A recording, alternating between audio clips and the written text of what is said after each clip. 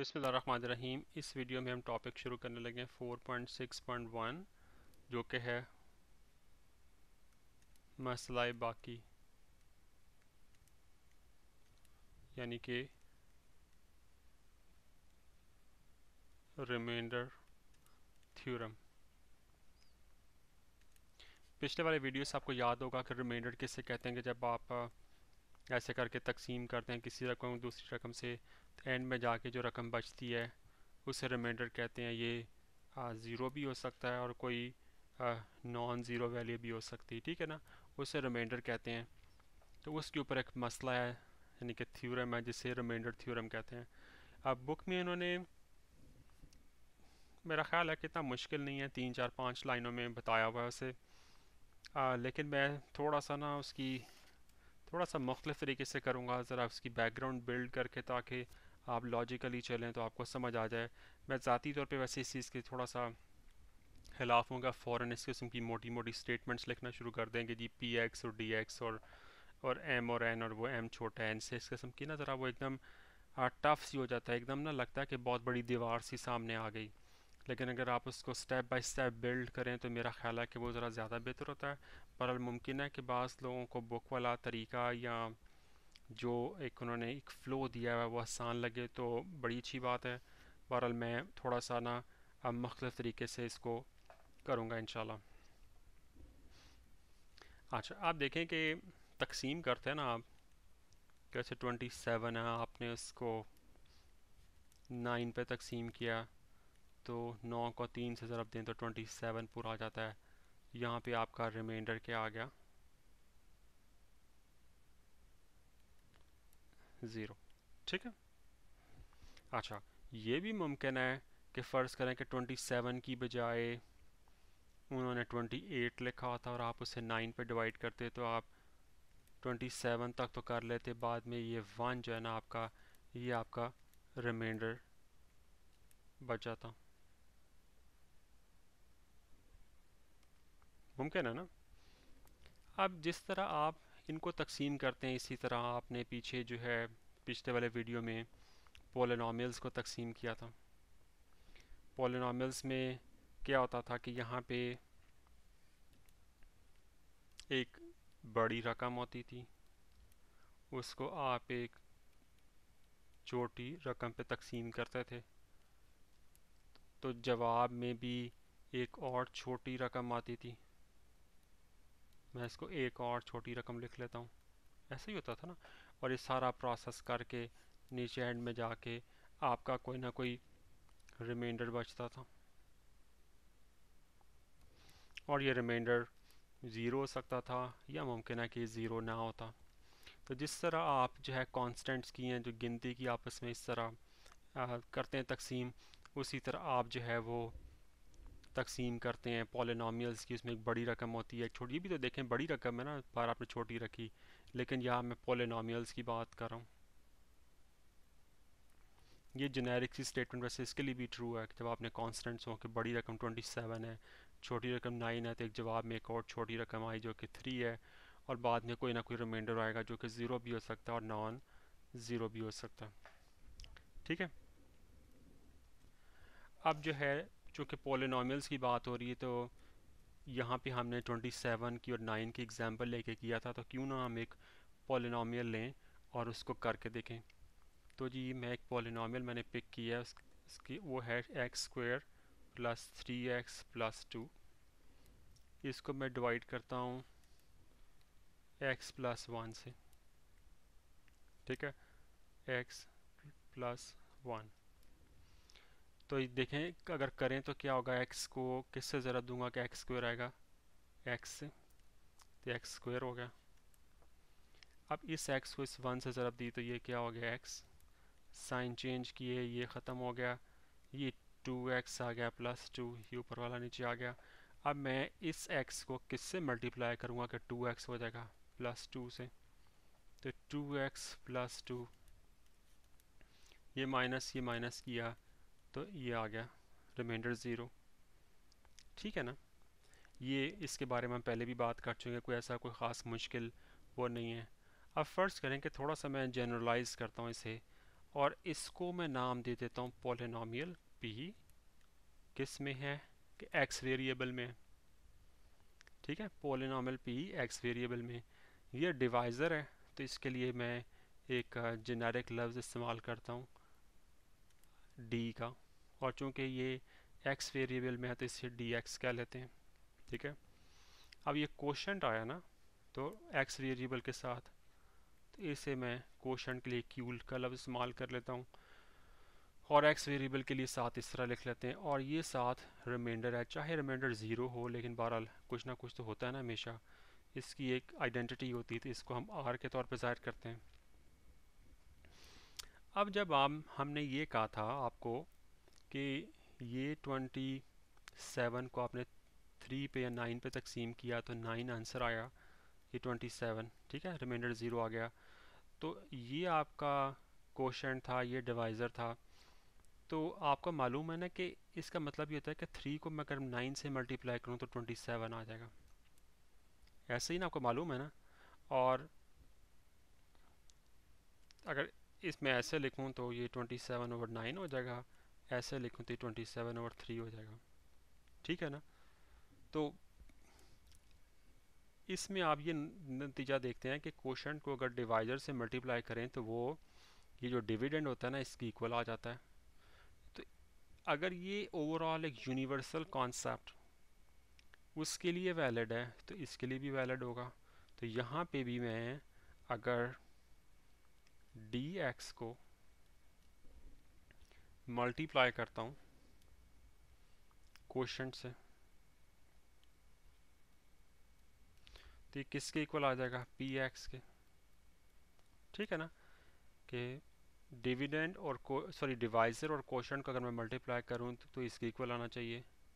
और मुमकिन है कि पूरा को पूरा तकसीम ना हो तो मेरा इधर आर भी आएगा प्लस रिमाइंडर जैसे कि इस केस में था कि आपका मैं रिपीट कर देता हूँ, ये ट्वेंटी सेवन है, ये थ्री है, ये नाइन है, ये आपका डिवाइज़र है, ठीक है ना? ये आपका क्वेश्चन है और, ये आपका रिमाइंडर है, ठीक है? तो यहाँ पे क्या आता था कि इसका मतलब ये होता था ना कि आप डिवाइज़र को क्वेश्चन से मल्टीप्लाई करें तो ये किसके इक्वल आ जाता था? इसको मैं ना, हालाँकि ये डिविडेंड है, इसके लिए भी डी ही बनता है, लेकिन मैं फ़िलहाल इसे ना पी कह लेता हूँ। पी के इक्वल आ जाता था ना इसके? जैसे ये ट्वेंटी सेवन है आपका डी आपका थ्री है और क्यू आपका नाइन है तो ये ट्वेंटी सेवन बन जाता ना। लेकिन इस केस में जब कि फ़र्ज़ करें कि ट्वेंटी एट हो थ्री से डिवाइड करें तो आपका वन बचता है। तो इस केस में क्या होता है? इस केस में फिर आप लिखते हैं ना कि ये आपका डिवाइज़र है, ये आपका p है तो p is equal to divisor into question plus one इसको इसे ज़रब दो और वन ऐड कर दो, जैसे कि इधर था ना, कि ये p आपका ट्वेंटी एट है तो d क्या है आपका थ्री q क्या है नाइन प्लस वन वन क्या आपका रिमाइंडर मैं इसे रिमाइंडर को r करके लिख देता हूँ। यहाँ पे इसकी वैल्यू वन है। तो देखें ट्वेंटी सेवन प्लस वन और ये ट्वेंटी एट तो उससे नतीजा ये निकलता है कि यहाँ पे जब हम पॉलिनॉमियल्स की बात करते हैं तो पॉलिनॉमियल किसके बराबर होती है? डिवाइज़र को क्वेश्चन से ज़रब दें और उसके अंदर आर यानी कि रिमाइंडर जमा कर दें। मुमकिन आर की वैल्यू ज़ीरो मुमकिन है ना हो। तो ये जो एक यूनिवर्सल रूल है, ये आपको याद रहना चाहिए और वैसे अब लॉजिकली आपके सामने भी है। ठीक है जी? अब ये इसके अंदर आर की, आपको आई एम श्योर कि आपको समझ आ गया होगा कि आर क्यों लगाते हैं, क्योंकि मुमकिन है यहाँ पे वैल्यू ज़ीरो ना आए। जैसे मैं मैं ना एक मिसाल लेके ना आपको ये वाजे भी कर देता हूँ। जैसे फ़र्ज़ करें कि मैं इसी को मॉडिफाई करता हूँ और इसमें मैं कहता हूँ कि यहाँ पे जनाबे वाला थ्री है। तो यहाँ तक तो वही स्टेप्स होंगे। फिर जब आप इसे नीचे उतारेंगे टू एक्स होगा और यहाँ पे क्या होगा? थ्री होगा। तो टू एक्स प्लस थ्री है। फिर आप कहेंगे ना कि अच्छा भाई मैं एक्स को किससे मल्टीप्लाई करूँ कि ये टू एक्स बन जाए? तो आप टू से मल्टीप्लाई करेंगे तो टू एक्स हो जाएगा, ये ख़त्म हो जाएगा। यहाँ पर फिर टू ही आएगा क्योंकि टू इंटू वन टू है। तो यहाँ पर आपका रिमाइंडर वन बच जाएगा।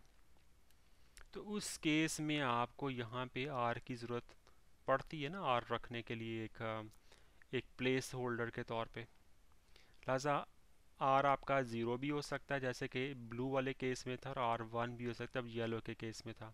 लेकिन ये स्टेटमेंट हमेशा ट्रू होती है कि polynomial is equal to divisor into question plus आपका रिमाइंडर ठीक है जी?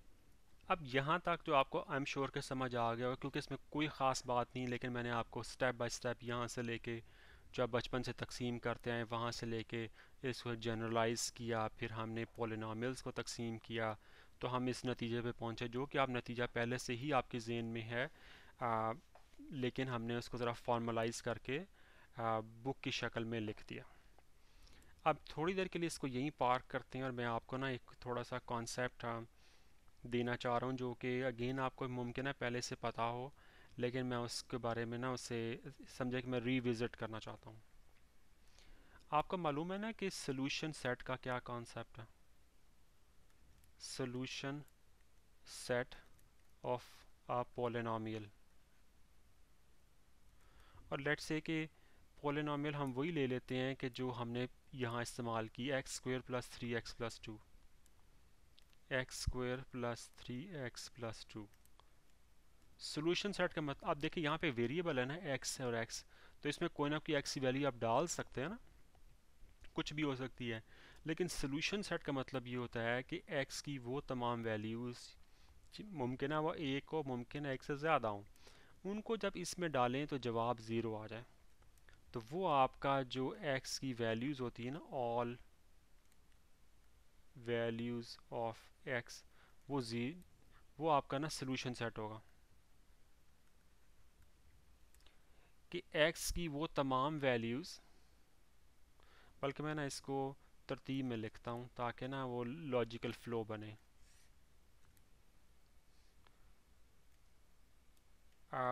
For all values of x for which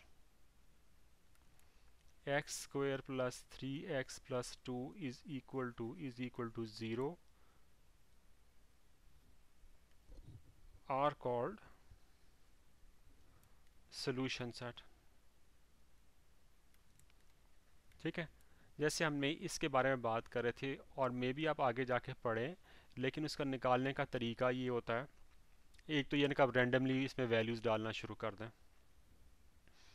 कि जैसे जी ये एक्स में मैं मिसाल के तौर पे एक डालता हूँ तो एक डाला तो ये एक्स स्क्वायर का वन स्क्वायर वन ही हो गया। फिर मैं तीन डालता हूँ ये तीन ये और एक्स की जगह वन डाला। वही पूरी इक्वेशन में वन डाल रहे ना एक्स की जगह।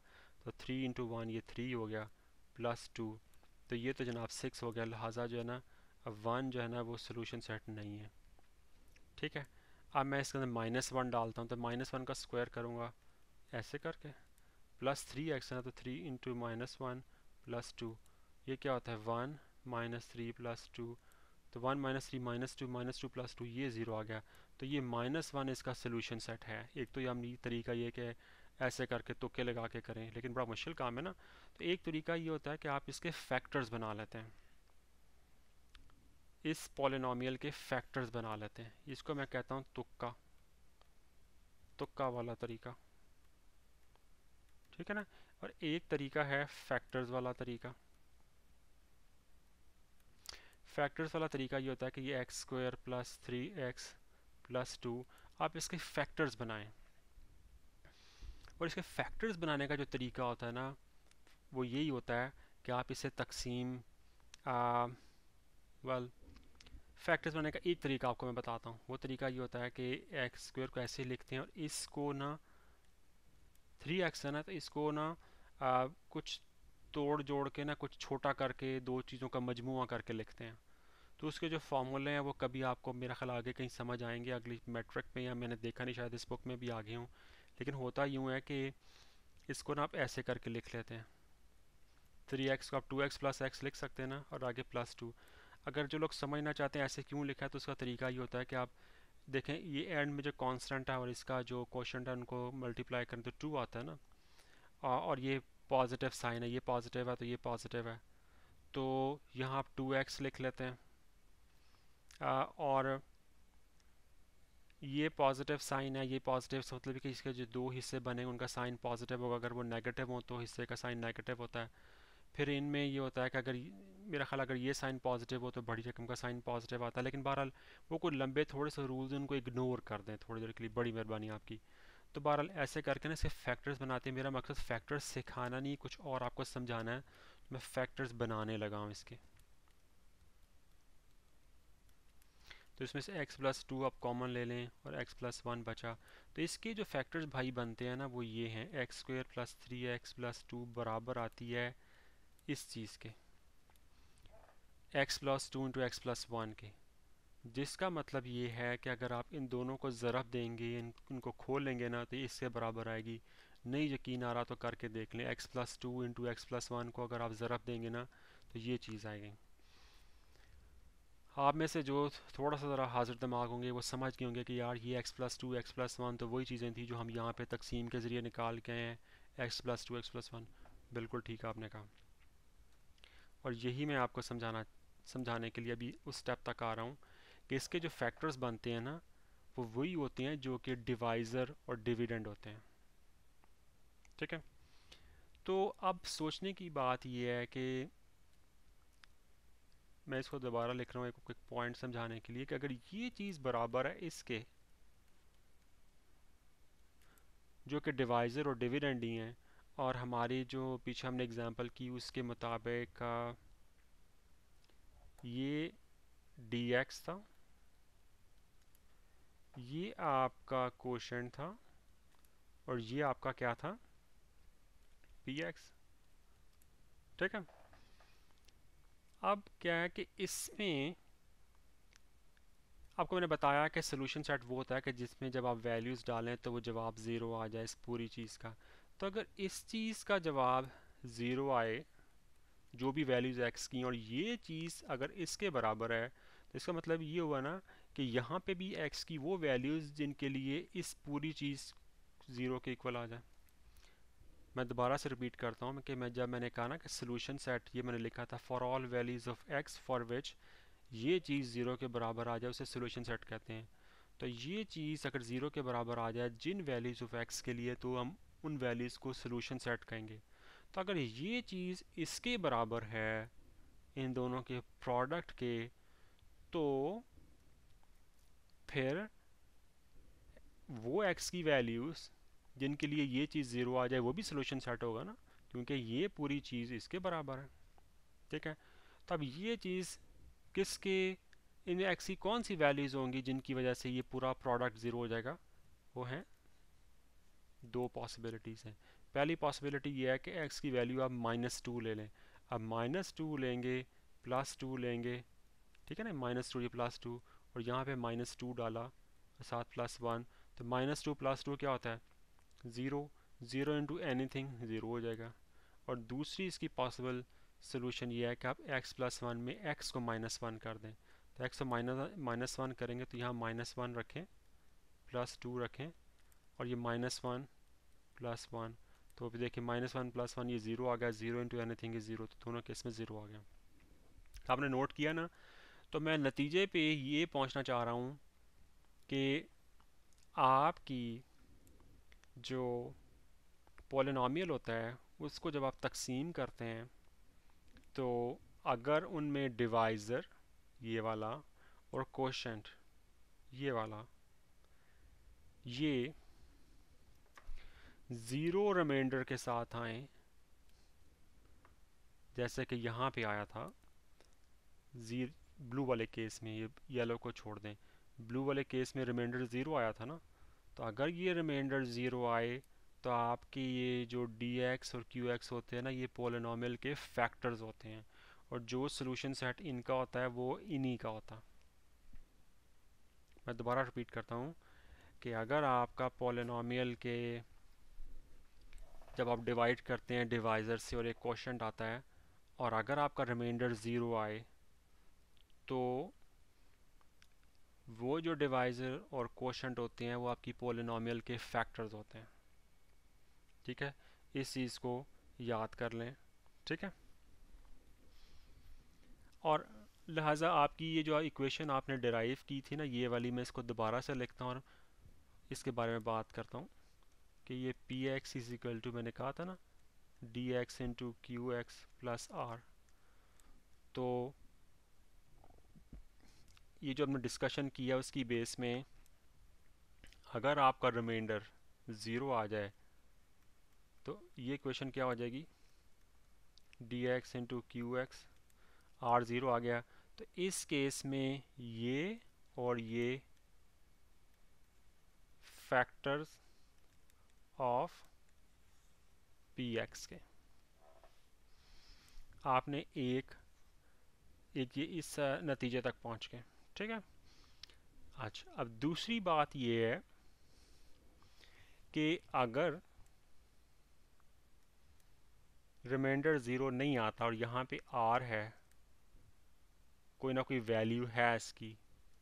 जैसा कि यहाँ पे मैंने इसको थ्री कर दिया था तो मेरे पास रिमाइंडर वन बच गया था तो उस केस में एक्स प्लस वन और ये एक्स प्लस टू इस चीज़ के, इस पॉलिनॉमियल के, जिसमें यहाँ पे टू की बजाय थ्री है उसके फैक्टर्स नहीं बनते।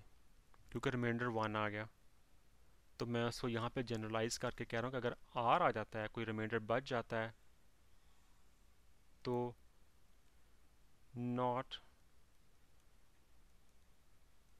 फैक्टर्स ऑफ़ तो फिर आप जो आपकी ये जो डिविडेंड और क्वेश्चन अगर ये आ जाए रिमाइंडर आ जाए तो आपके जो डिविडेंड और क्वेश्चन होते हैं ना, ये फैक्टर नहीं होते। ये डिविडेंड और ये क्वेश्चन फैक्टर नहीं होते पी एक्स के अगर आपका ये रिमाइंडर आ रहा जाए इसको कह लें कि ये आ, दूसरा पॉइंट है। आई एम श्योर कि आपको ये दोनों पॉइंट समझ में आ गए होंगे ठीक है? अब हम क्या करते हैं कि चूँकि हमने थ्योरम तक पहुँचना है तो हम ना डी एक्स के बारे में बात करते हैं कि ये क्या चीज़ है और इसके ना एक स्पेशल केस के बारे में बात करते हैं। तो मैं पोलिनॉमियल पहले वही लिखने लगा हूँ। D x into q x plus r ये आपको बड़ी अच्छी तरह श्योर समझ आ गई हुई है। स्पेशल केस क्या है? स्पेशल केस ये है कि जो हमारी डी एक्स है ना, वो क्या है? एक एक लीनियर इक्वेशन है लीनियर इक्वेशन वो थी जिसमें वो डिग्री व, जो है ना वेरिएबल की वन हो। ठीक है? मिसाल के तौर पे जी आप कह सकते हैं x plus two x minus hundred x plus one million कुछ, कोई भी वैल्यू होगी। तो इसको जनरलाइज करके हम लिखते हैं, जो मैथ्स में तरीका है ना, वो एक्स माइनस ए कह लेते हैं। तो जनरलाइज करके इसे एक्स माइनस ए कह लेते हैं। तो फ़र्ज़ करें कि इस पर्टिकुलर केस में ये एक स्पेशल केस है, जिसकी बेस पे थ्योरम बना हुआ है। तो डी एक्स के फ़र्ज़ करें कि let's d x is equal to x minus a इसको जब मैं इस इक्वेशन में डालूँगा तो क्या आएगा? P x is equal to d x की बजाय मैंने एक्स माइनस ए लिख दिया। Into q x plus r ठीक है? ये चीज़ आ जाएगी ना आपकी। अब मैंने आपको यहाँ पे एक चीज़ समझाई थी, आपको मैं दोबारा से याद कराता हूँ। कि यहाँ पे मैंने आपसे कहा था कि x square plus three x plus two है, उसके ये जो डी एक्स और क्यू एक्स है, उसके फैक्टर्स बनते हैं। फैक्टर्स कब बनते हैं? कि अगर जो है वो सोलूशन सेट सॉरी अगर वो रिमाइंडर ज़ीरो फिर मैंने आपको दूसरी बात बताई थी कि इस इक्वेशन का जो सोलूशन सेट है, वो इनका भी सोलूशन सेट होगा। सोल्यूशन सेट किसे कहते हैं? एक्स की वो वैल्यूज़ जिनके लिए ये चीज़ ज़ीरो के इक्वल हो जाए। आप चूँकि ये चीज़ इसके इक्वल है लिहाजा सोल्यूशन सेट कि इधर से जो एक्स की वैल्यूज़ आएँगी, वो इधर डालेंगे तो तब भी ये चीज़ ज़ीरो आ जाएगी। या दूसरे लफ्ज़ों में जो भी वैल्यूज़ हम अगर इधर से निकाल लें तो इधर की कंडीशन को भी सेटिस्फाई कर देंगी। तो इधर से निकालना ज़रा मुश्किल है, क्योंकि ऐसे तुक्के लगाना ज़रा मुश्किल काम है। तो ये ज़रा आसान तरीका है कि अगर मैं इस चीज़ को ज़ीरो बना दूँ तो ज़ीरो को इससे मल्टीप्लाई करूँगा तो भी ज़ीरो हो जाएगी। या वाइस वर्सा ये है कि अगर मैं इस चीज़ को ज़ीरो बना लूँ तो इससे मल्टीप्लाई करूँ तो ये सारा कुछ ज़ीरो हो जाएगा। तो मैंने दोनों केसेस किए थे तो मैं इससे मैंने ये आपको बताने की कोशिश की थी कि जो सोलूशन सेट होता है, डिवाइडर से ले सकते हैं, रिमाइंडर से ले सकते हैं, ठीक है? वो सोलूशन सेट इधर भी लग सकता। ठीक है ना? अब जनाब, ये एक्चुअली क्या था? आपका डिवाइज़र था ना? तो यहाँ से जो मैं सोलूशन सेट अगर निकालूँ, ये फ़र्ज़ करें कि एक्स माइनस ए हो तो इसको मैं पूरी चीज़ को अगर ज़ीरो करना चाह रहा हूँ तो इसमें अगर मैं एक्स की वैल्यू ए डाल दूँगा तो ये ज़ीरो आ जाएगी ना? फिर ज़ीरो को मैं इसे मल्टीप्लाई करूँगा तो ये सारी चीज़ ज़ीरो हो जाएगी। ठीक है? तो अगर मैं एक्स की वैल्यू ए डाल दूँ तो फिर ये पोलिनॉमियल जो वे का जो वेरिएबल है, वो पी की बजाय एक्स की बजाय ए हो जाएगा ना वेरिएबल नहीं, बल्कि उसकी वैल्यू डाल दिया हमने। तो एक्स की बजाय मैं ए डालने लगा हूँ। तो अगर मैं इधर ए डाल रहा हूँ, ऐसे करके हर जगह मुझे ए लिखना पड़ेगा ना। क्योंकि आपको मैं अगेन दोबारा से बार बार रिपीट कर रहा हूँ, मैं बल्कि इधर लिख ही देता हूँ कि एक्स स्क्वेयर बार बार पीछे ना जाना पड़े। Plus three x plus two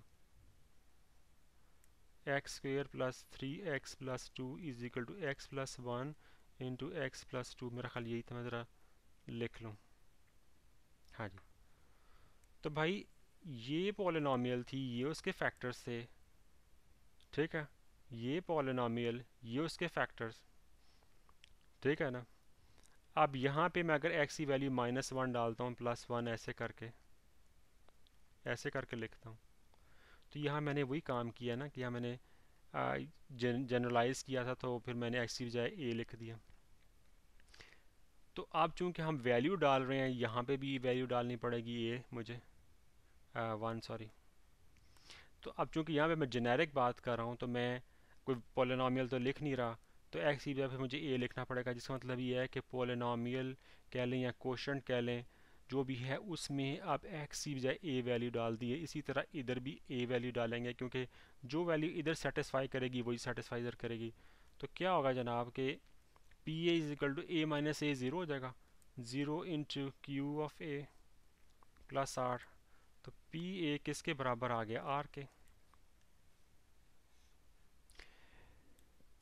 ठीक है, इससे सोचें कि क्या नतीजे निकलते हैं। इससे जनाबे वाला वही दो तीन नतीजे निकलते हैं जिनको हम पहले दो तीन दफ़ा डिस्कस कर चुके हैं, लेकिन हम उनको दोबारा डिस्कस करते हैं। पहली बात यह है कि अगर रिमाइंडर आपका ज़ीरो तो फिर क्या होगा कि x माइनस ए और आपका q x x minus a आपका क्या था? डी एक्स था ना? ये आपके फैक्टर्स होंगे। फैक्टर्स ऑफ़ पी एक्स अगर ये नॉन ज़ीरो वैल्यू आती है तो फिर क्या होगा? ये p x sorry d x d x कह हैं इसको स्लैश करके एक्स माइनस ए लिख लें and q x r not factors ठीक है? ये होगा ना इसी तरह। ये नतीजा कह लें या समझ लें कि दो कंडीशंस कह लें इसकी। अब यहाँ पे जब हमने किया तो अभी हमें कुछ पता नहीं है कि फैक्टर्स हैं कि नहीं है, क्योंकि अभी हमें इसकी वैल्यू नहीं पता। लिहाजा हमने बहरहाल एक जेनेरिक इक्वेशन से यहाँ तक पहुँचे और हमने ये कहा है यहाँ पे कि अगर पी ए आर के इक्वल है और अगर आर ज़ीरो हो तो इसका मतलब ये है कि एक्स माइनस ए फैक्टर था। क्योंकि अब हम डिवाइज़र की बात करते हैं तो मैं कहता हूँ कि एक्स माइनस ए या डी एस फैक्टर था इसका। अगर आर ज़ीरो ना हो तो हम कहेंगे डी एक्स या एक्स माइनस ए फैक्टर नहीं था। ठीक है जी? तो इससे ना, मैं दोबारा एक तरह से रिफ्रेश करता हूँ, क्योंकि अब आपको समझना बड़ा ज़रूरी है। अब आपको मैं ना वर्डिंग इस्तेमाल करके बताता हूँ। वो ये है कि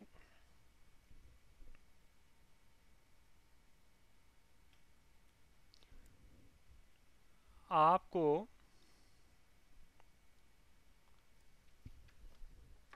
आपको पूरी की पूरी ज़रब देने की ज़रूरत नहीं है। नो नीड टू ये हमारी लर्निंग है यहाँ से, या रिजल्ट्स हैं। No need to do the whole multiplication process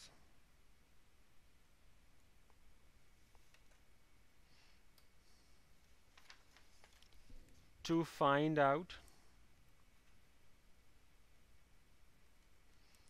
if dx या इसको x माइनस ए कह लेता हूँ, क्योंकि स्पेशल केस ना हम इसमें डिस्कस करते हैं। Is a factor of p x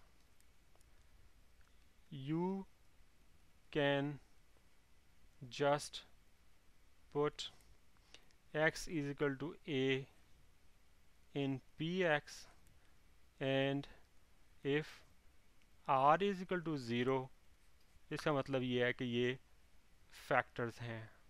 If r is equal to not zero इसका मतलब ये है कि फैक्टर्स नहीं है नो फैक्टर्स लिहाजा आपको ये जो कॉम्प्लिकेटेड सा लंबा तकसीम का प्रोसेस है ना, ये वाला जो पीछे मैंने आपको समझाया था, ये करने की ज़रूरत नहीं है। सिर्फ़ ये जानने के लिए कि ये फैक्टर है कि नहीं है। ये जो हमने रिमाइंडर थ्योरम निकाला ना, ये यहाँ पे जो हमने आखिरी वाला पेज था इसका ये।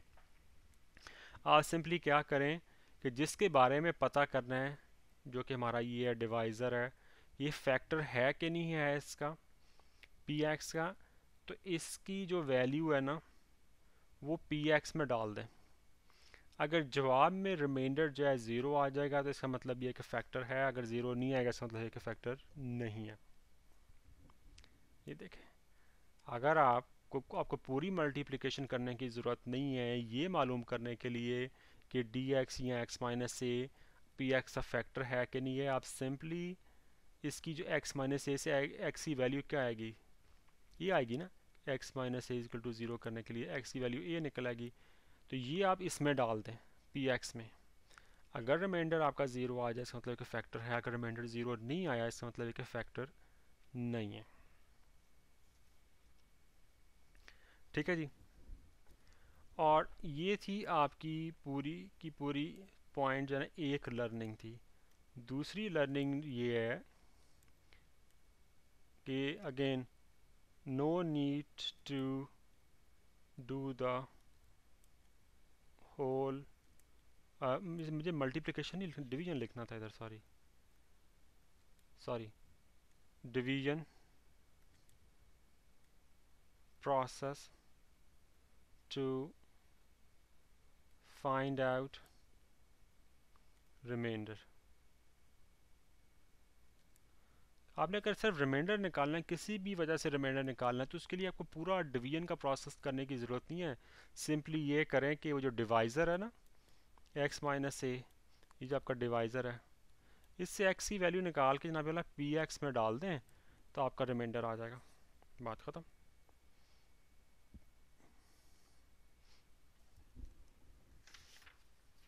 अब आई होप कि आपको ये थ्योरम समझ आ गया होगा। थ्योरम बहुत ही आसान है मुश्किल नहीं है। आ, मैंने आपको जानबूझ के लंबा सा करके बताया क्योंकि मैं रास्ते में ये सारे कॉन्सेप्ट आपके डेवलप करता गया।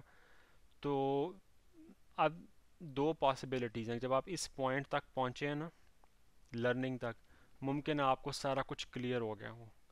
मुमकिन है कि आज चूँकि मैंने लेंथ ज़रा ज़्यादा कर दी हर चीज़ बेसिक तरीके से बतानी शुरू की तो बाज़ का लोग इससे कंफ्यूज हो जाते हैं। तो मैं अब ये करने लगा हूँ और उन लोगों के लिए जो कंफ्यूज हो गए होंगे कि मैं इस थ्योरम को बुक के जो तीन या चार स्टेप्स हैं, मैं उनसे बताऊँगा। क्योंकि आपके कॉन्सेप्ट तो बेसिक डेवलप हो गए आपको समझ आ गई चीज़ों की तो मैं उनको डायरेक्टली थ्योरम में जो बुक में बताया वो तीन चार स्टेप्स करूँगा ना तो मुमकिन है अब आपको थ्योरम जल्दी समझ आ जाए या बुक वाला तरीका आपको बेहतर लगे। तो मैं आपको समझाता हूँ कि कोई भी पोलिनोमियल हो वो किसके इक्वल होती है? डिवाइज़र के और कोशेंट के प्रोडक्ट के प्लस रिमाइंडर के। ठीक है? अब एक स्पेशल केस में आप फ़र्ज़ करें कि डी एक्स बराबर है एक्स माइनस ए के। तो ये आपकी जो इक्वेशन है, ये किसके बराबर हो जाएगी? X minus a into q x plus r अब ये चूँकि ये और ये चूँकि दो यूनिवर्सल इक्वेशंस हैं क्योंकि ये दोनों यूनिवर्सल ये भी यूनिवर्सल इक्वेशन और ये मैंने एक बनाई है वैल्यू डाली, ये भी यूनिवर्सल इक्वेशन है। लिहाजा ये दोनों इक्वेशंस तमाम की तमाम वैल्यूज़ ऑफ़ एक्स के लिए वैलिड होंगी। तो अगर फ़र्ज़ करें कि इससे मैं कहूँ कि x is equal to a मैं ये एक वैल्यू लेता हूँ एक्स की खुद से अपनी तरफ़ से बनाता हूँ तो ये पूरी की पूरी इक्वेशन में आप x अगर a से रिप्लेस करें तो ये पी एक्स की बजाय पी हो जाएगा। ये x की बजाय मैं a लगा दूँगा। ये a पहले से है। ये आपका q x की बजाय a हो जाएगा और ये प्लस r हो जाएगा। तो ये क्या हो गया मेरा? a माइनस ए ज़ीरो होता है। Zero into q a plus r तो पी ए की वैल्यू क्या आ गई? आर के। तो इस, इससे क्या नतीजा निकला? कि जब आपने पी एक्स को डिवाइड किया एक्स माइनस ए से तो आपके पास आपके पास पी ए जो है ना, वो एज अ रिमाइंडर हासिल होता रिमाइंडर को मैं आर लिख देता हूँ। मैं रिपीट करता हूँ कि अगर हम पी एक्स को एक्स माइनस ए से डिवाइड करें, ये सारा वही है ना एक्स माइनस ए से। कि पी एक्स अगर मैंने एक्स माइनस ए से डिवाइड करूँ तो p a as a reminder हासिल होता। यानी कि पॉलिनॉमियल में ए की जो वैल्यू डालूँगा, वो एज अ रिमाइंडर आएगा। ये भी याद रख लें कि अगर मैं पॉलिनॉमियल एक्स को एक्स माइनस ए से डिवाइड करूँ तो पी ए पी ए का मतलब ये है value of p when we put x equal to a. P x को जब एक्स माइनस ए से डिवाइड करेंगे पॉलिनॉमियल को जब एक्स माइनस ए से डिवाइड करेंगे तो उसका जो जवाब होगा या उसका जो रिमाइंडर होगा, वो क्या होगा? वो वही होगा जो कि पोलिनोमियल में हम एक्स की बजाय ए की वैल्यू डालने से जवाब आएगा।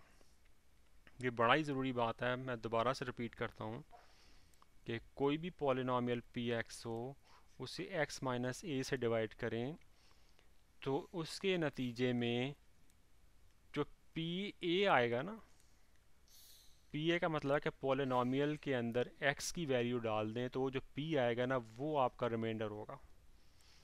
बस ये थ्योरम है आपका रिमाइंडर थ्योरम और इसके बाद वो दो नतीजे निकालते हैं कि अगर आर ज़ीरो आ जाए तो आपके जो जो एक्स माइनस ए है, वो फैक्टर होगा।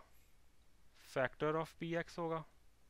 अगर आर माइनस ए ज़ीरो नहीं आए तो x minus a x minus a आपको पता ना डिवाइज़र है इज़ नॉट अ फैक्टर बस। फिर बता रहा हूँ पी एक्स कोई पोलिनोमियल को एक्स माइनस ए से डिवाइड करें तो उसके नतीजे में जो रिमाइंडर होगा, वो वही होगा जो पोलिनोमियल के अंदर एक्स की बजाय ए की वैल्यू डालने से आएगा। जैसे कि यहाँ पे आया, जैसे कि यहाँ पे हमने इस पेज पे किया। और अगर रिमाइंडर ज़ीरो आ जाए तो इसका मतलब है कि एक्स माइनस ए फैक्टर है पोलिनोमियल का। ज़ीरो ना आए तो x माइनस ए पोलिनोमियल का फैक्टर नहीं है।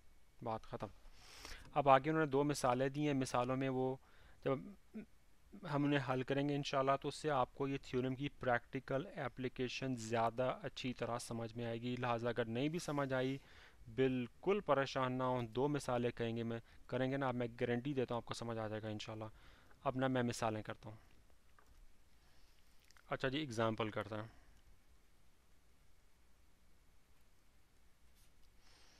एग्ज़ाम्पल ये कहती है कि p x is equal to x cube plus x square minus two.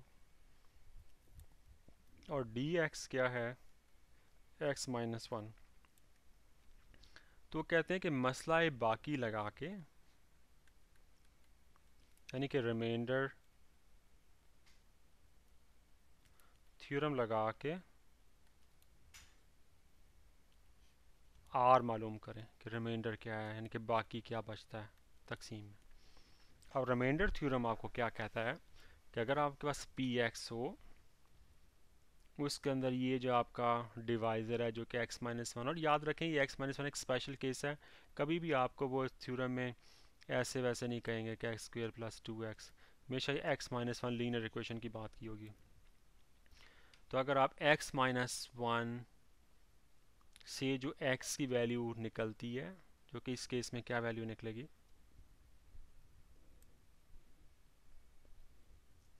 ये देखें।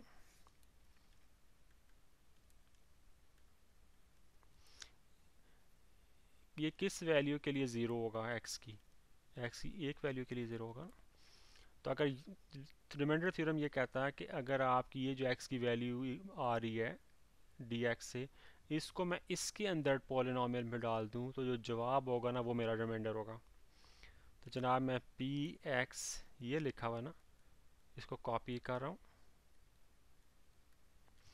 इसमें मैं पी वन डाल देता हूँ, यानी कि एक्स वी वन डालता हूँ, क्योंकि ये वन यहाँ से वैल्यू निकली है। तो वन हो जाएगा वी वन हो जाएगा, ये माइनस टू हो जाएगा तो जवाब ज़ीरो आ गया। तो ये आपका रिमाइंडर है। थ्योरम यही कहता था ना कि पी एक्स जब आप एक्स माइनस ए से डिवाइड करें तो जो जवाब आएगा, ठीक है, वो रिमाइंडर मैं थोड़ा सा लफ्ज़ मेरे इधर उधर हो गया मैं दोबारा बताता हूँ कि पी एक्स को एक्स माइनस ए से डिवाइड करें तो उसके लिए जो आपका रिमाइंडर होगा, वो क्या होगा? वो वही होगा जो इस पॉलिनॉमियल में आप एक्स की बजाय ए डाल दें। आपने देखें इस पॉलिनॉमियल में, इसमें x cube plus x square minus two इसमें एक्स की बजाय आपने वन डाल दिया क्योंकि डी एक्स से निकला था वन तो रिमाइंडर ज़ीरो आ गया। तो ये आपने रिमाइंडर ही उन्होंने कहा था फाइंड करें रिमाइंडर कर दिया। और इससे दूसरा नतीजा ये निकलता है कि एक्स माइनस वन जो है ना is is a factor of x cube plus x square minus two ये भी नतीजा निकलता है। अगर रिमाइंडर ज़ीरो हो तो फैक्टर होता है। ये भी हमने नतीजा अक्स किया था।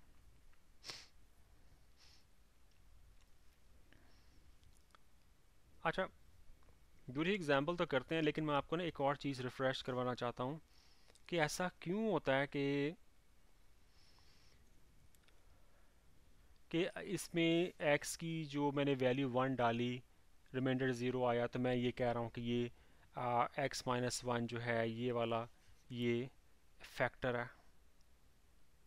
ये आपको याद होगा मैंने आपसे कहा था कि जब पॉलिनॉमियल हो ऐसे करके उसके ये दो फैक्टर हों जैसे आर एक्स है आ, नहीं डी एक्स और क्यू एक्स तो मैंने कहा था इसका जो सोल्यूशन सेट होगा वो इन्हीं का भी सोल्यूशन सेट होगा। तो जो इनका सोल्यूशन सेट होगा वो इधर भी सोल्यूशन सेट होगा। तो हमने जगह इधर से एक सोल्यूशन सेट निकाल लिया एक्स माइनस वन को इस्तेमाल करके तो एक्स इक्वल टू वन तो ये सोल्यूशन सेट अगर इधर लगता है तो इधर भी लगेगा। लिहाजा हमने जब किया तो देखा वो वाकई इधर लग गया। जब वो वाकई इधर लग गया, जब आप ज़ीरो आ गया इसका मतलब ये है कि ये फैक्टर है ठीक है? Any anyway. अब हम करते हैं एग्ज़ाम्पल टू उसमें वो कहते हैं कि एक्स पी एक्स जो है ना, वो एक्स क्यूब है। प्लस नहीं प्लस नहीं है माइनस है। Minus x square minus fourteen x plus twenty four और डी एक्स वो बताते हैं एक्स प्लस टू वो कहते हैं कि जनाब आप रिमाइंडर मालूम करें। रिमाइंडर थ्योरम लगा के। तो इससे x प्लस टू को मैं अगर ज़ीरो करूँ तो x किससे बराबर आएगा? माइनस टू के। तो पी एक्स अगर मेरा ये है x cube minus x square minus fourteen x plus twenty four तो इसमें मैं माइनस टू डाल दूँ।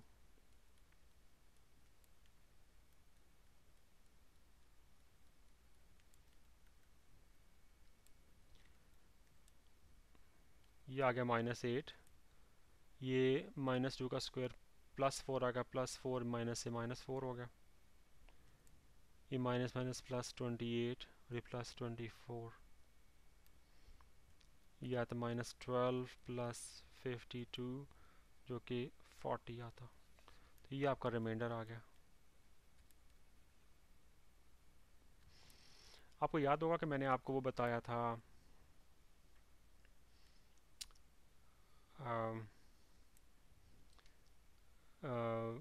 उसका नाम था सिंथेटिक डिवीज़न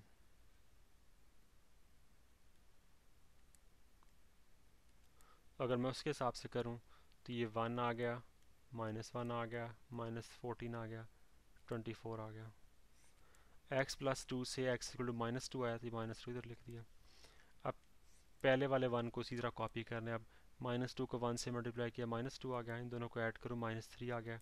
माइनस थ्री को माइनस टू से मल्टीप्लाई किया सिक्स आ गया। इनको ऐड किया माइनस एट आ गया। माइनस एट को माइनस टू से मल्टीप्लाई किया सिक्सटीन आ गया। इनको ऐड किया फोर्टी ये आपका रिमाइंडर आ गया, ये वाला। सिंथेटिक डिवीज़न लगा के अगर आप चाहें तो आंसर अपना चेक भी कर सकते हैं। तो इसके साथ ही टॉपिक 4.6.1 ख़त्म हुआ रिमाइंडर थ्योरम इन अगले वाले वीडियो में हम एक्सरसाइज 4.6 करेंगे। अलैक्म